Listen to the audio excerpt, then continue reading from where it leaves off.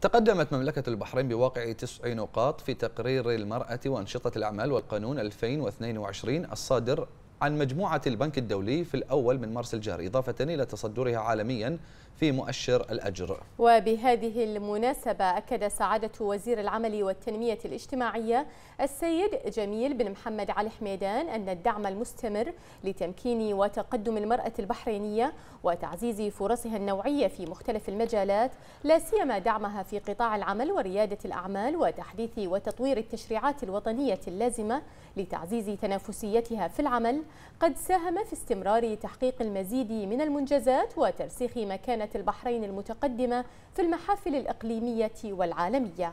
ويعد ذلك إنجازا دوليا جديدا يؤكد تنافسية المملكة في مجال تمكين المرأة وفي قطاع العمل وتعزيز دورها في مجالات ريادة الأعمال. ويأتي هذا التحسن على أداء مملكة البحرين في تقرير المرأة وأنشطة الأعمال والقانون 2022 في ظل ما يتم من تطوير للإجراءات والتشريعات والقوانين الوطنية ذات العلاقة التي تم سنها عبر التعاون بين السلطتين التنفيذية والتشريعية. كما جاء هذا الإنجاز الدولي بعد إصدار المرسوم بقانون رقم 16 لسنة 2021 بتعديل بعض أحكام قانون العمل في القطاع الأهلي رقم 36 لسنة 2012 وتعديلاته ما ساهم في تحقيق المملكة لهذا التقدم.